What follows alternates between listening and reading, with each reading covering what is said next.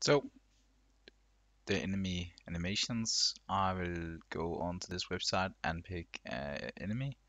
I chose the goblin as the enemy. You can choose whichever you like. When you have found the enemy you like, um, you see like a T-pose here. You click download for Unity T-pose download and we need some animation with that. We're gonna need the idle, gonna need the walk, the one, and the death animation. And of course, we're also gonna need a combat animation. So idle. Oh, sorry, I need to click animations. This. Uh, so we have the regular idle. see.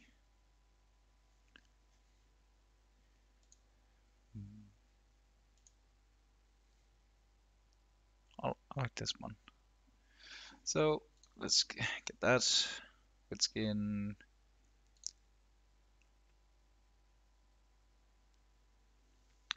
And then we're gonna need to run. And it's gonna be a. I think the zombie run can do something great.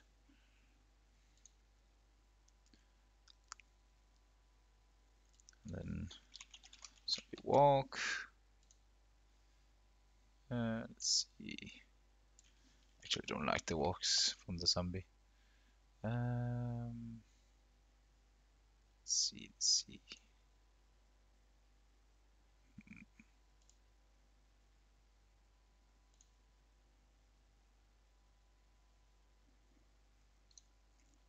Great, let's take this. And then we're gonna need a diff animation.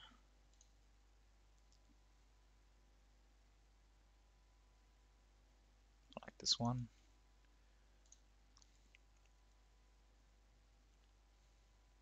And we're gonna need a punch animation. So we can become one punch man. Oof, oof, I like it.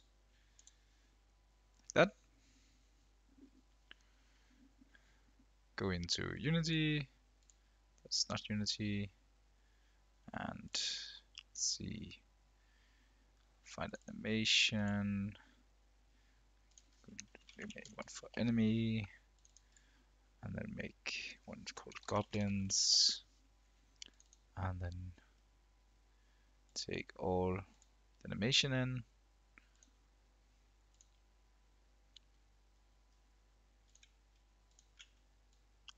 This.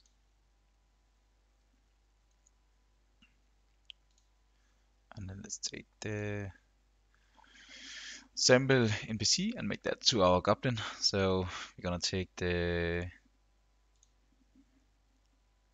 T, put it in. Let's see.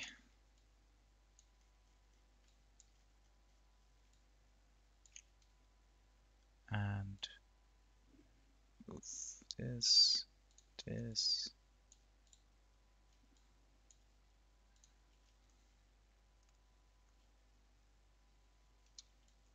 Beautiful. Already like it. Uh, take the animator uh, choose the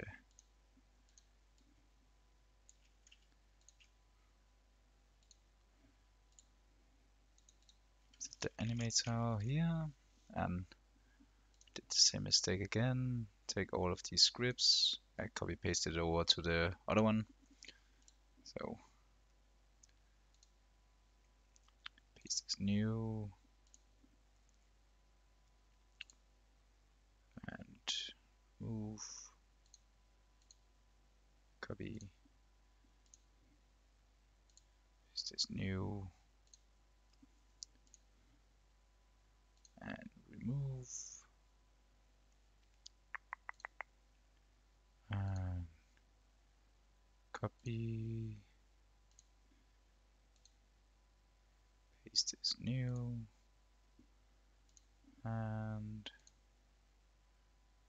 move, copy,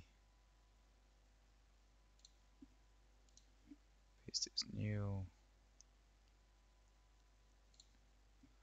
and yeah, move, and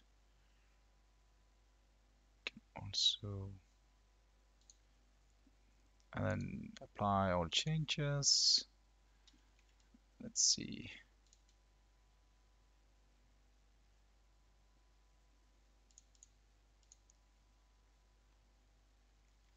That looks fantastic. Everyone likes that. Um, so in the animation enemy goblins, we gonna need a new, create a new animation controller, goblin, and here we're gonna open our animator, put in the goblin, open the, this one, make a new blend tree, go into the blend tree, and call this forward speed, and set the animations, animation, this will be the idle. Let's see what we have. Here's the goblin idle. Then we will add another one. That will be the walk. And then we will one on one. That will be the one. Uh, like this. And let's see. So starts to walk and run. So we can see down here that it, when we are at 0.5, it's walking, it's, when it's at 1, it's running. So now we make the blend tree, and we have the three idles. We also, from any state, gonna have a new empty, call that def, transition, at the diff.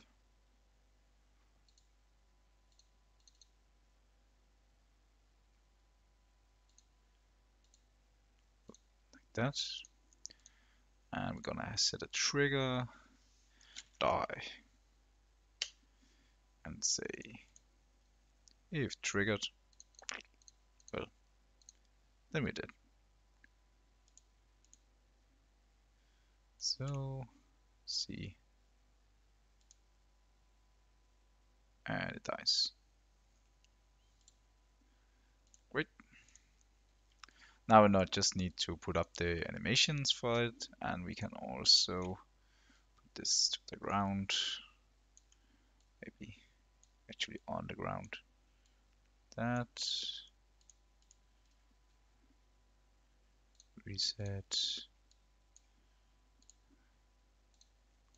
set.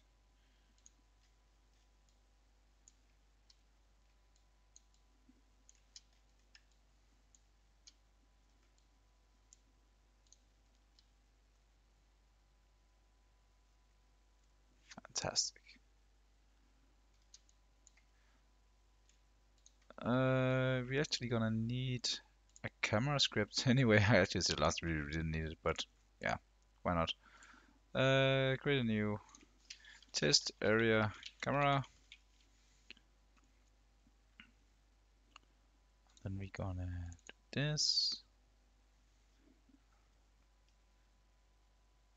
And then we are going to this and say serialized field, transform, target, and and then we're going to say transform dot position equals to target dot position like that. Close that down. Then we're gonna make an empty game object and say camera follow. Reset that. Put the main cam inside. Take the position of our goblin. So component to the follow, paste component values, and main camera we will have it.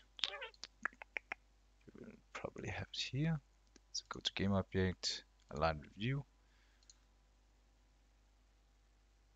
Oh, we forgot to actually add the script test, camera area, and then set the goblin as the target. That.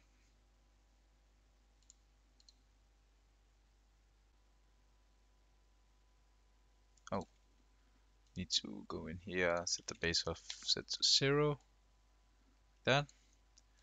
And now we need to work on the animation blend tree. Let's put up some texture on these characters actually. Haven't done that. So in the animation enemy goblins, let's make a folder called uh, texture. Um, then you take the T-pose, tears, extract texture, choose the map folder, uh, say fix now, and you will have some colors on it. And we can do the same with the player. So the T-pose is here, and we're gonna make a folder texture. Open that. Oh, don't open that actually. Open this one. Extract texture. Choose texture. Fix now. And then we want to like set the definite animation to work. And so if we go into the test scene, uh, sorry, let's start going to the scene and take the sample. Override, apply all changes, and now take it into the test scene. Remove this enemy and this enemy, and insert prefabs, drag the this one inside, and see if everything is correct.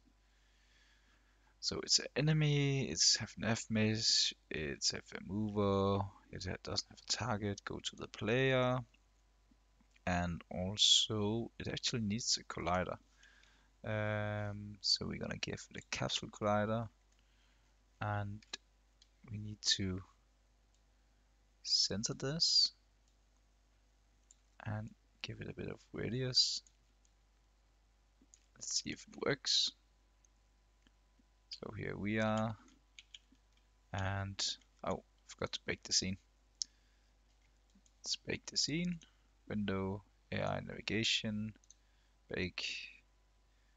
Um, that's fine. Just baking it. Okay, so now the baking is done. Go into the goblin. Let's see yeah, put his health a bit down. Let's see, health to maybe like 8. And then we want to set the death trigger. Did we set up the animation? Uh, this is the player. So yeah, we have the animation die. Okay, let's go into the scripts.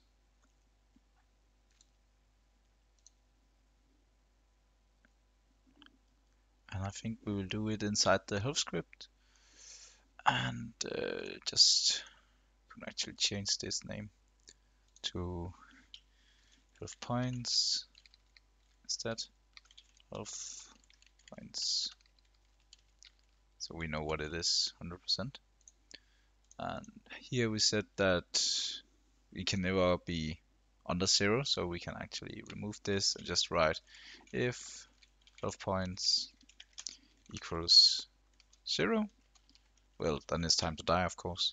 So get component, animator, uh, and we need to set trigger. I hope I spelled it this way, die. And just to be sure, I will see if see, I have two projects. Um, I did it with the capital. So let's go back. Like this. And then it should actually work. So here he comes. Let's smack him in a bit. So yeah, it does not print health now. What health do I have left? Oh, that's a lot of health. Um, we in the one project? No. Hmm. Set it to 10.